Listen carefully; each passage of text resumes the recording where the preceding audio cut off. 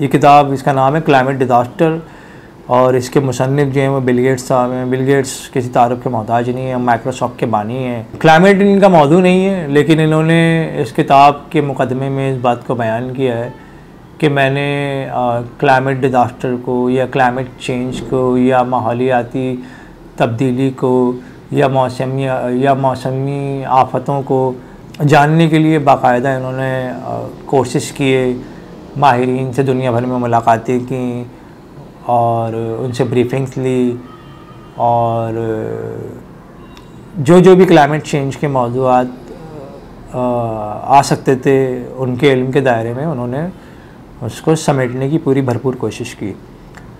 और फिर उसके बाद जो है वो उन्होंने ये किताब तहरीर की, इसका नाम है how to avoid how to avoid a climate disaster this solution this solution we we have and the breakthroughs we need यानी कि मौसमी आफतें और उससे बचने के तरीक़े, हल और ये सारी चीज़ें जो हैं वो इस किताब में उन्होंने बयान की हैं।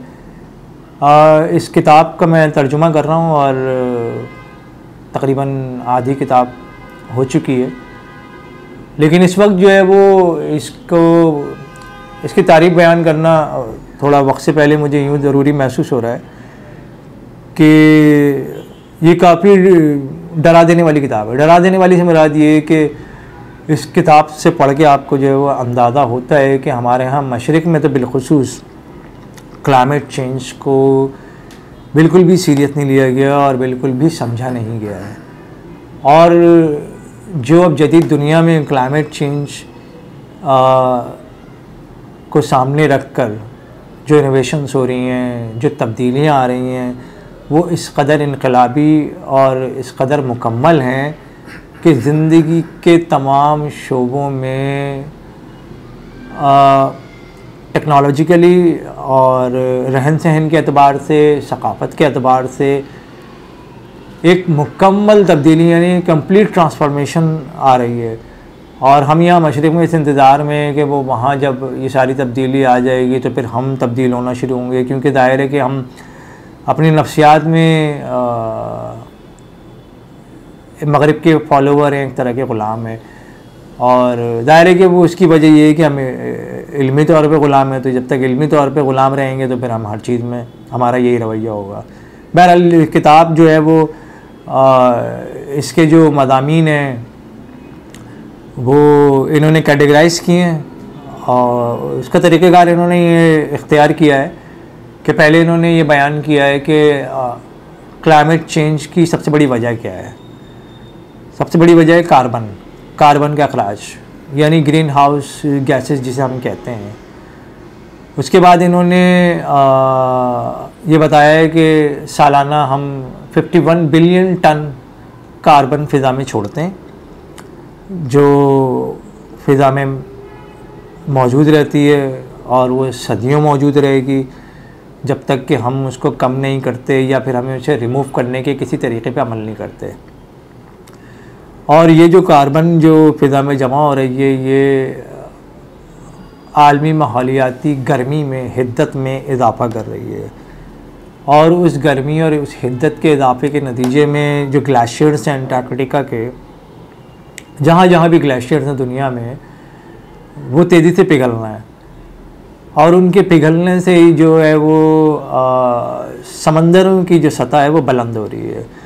समंदरों की सतह जो है वो बुलंद हो रही है तो उसके नतीजे में इस बात का यकीन ज़ाहिर किया जा रहा है कि अगर ग्लेशियर इसी तरह पिघलते रहे तो जो समंदरी ज़िंदगी है, जो माहौलियात है, वो तो अपनी जगह तबाही से दो चार होगी। जो साहिली शहर हैं, वो सफ़ा हस्ती से मिट जाएँगे।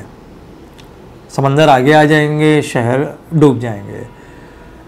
और जापान इंडोनेशिया और वैनुताव वगैरह जैसे जो जदायरी ममालिक हैं, उनके समंदर में गर्क हो जाने के बड़े कभी इम्कान हैं।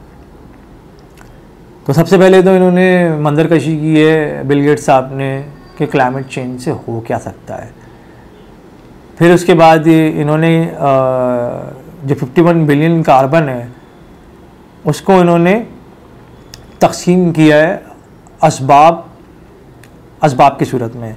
यानी कि कौन सा शोबा ज़िंदगी जो है वो कितनी कार्बन एमिट कर रहा है।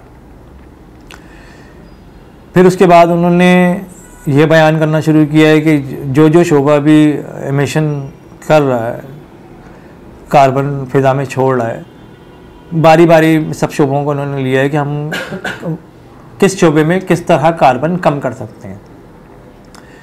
उसके लिए उन्होंने एक टर्म इस्तेमाल की ग्रीन प्रीमियम की। ग्रीन प्रीमियम से मुराद ये कि कार्बन से चलने वाली अगर कोई चीज़ है और उसके मुतबादल में हम कोई चीज़ पेश कर रहे हैं तो लागत का क्या फ़र्क होगा और ये कितना आसान होगा या ये मुमकिन भी है कि नहीं है?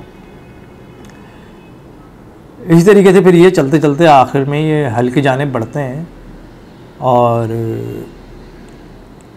एक उम्मीद अफजा सूरत ये पैदा करते हैं कि हम अगले दो तीन दिहाइयों तक अगर हम इनके पेश करदा इन जो हल हैं, जो कि ज़ाहिर है बिलगेट साहब के अपने नहीं हैं, बल्कि जो माहरीन इस वक्त जो काम कर रहे हैं इस शोबे में, उनसे इन्होंने मुलाकातों की सूरत में, ब्रीफिंग की शक्ल में, सीखने की सूरत में हासिल किए हैं और उन सारी चीज़ों को इस किताब का हिस्सा बनाया है। और इसमें अपनी दिलचस्पी ज़ाहिर की है।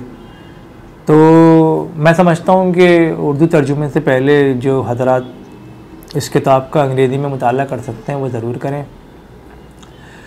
नहीं तो कम अज़ कम क्लाइमेट चेंज के हवाले से जो भी जदीद मदामी और मकाले आ रहे हैं एकेडमिकली आ रहे हैं या उससे बाहर आ रहे हैं, उसका मताल ज़रूर करें।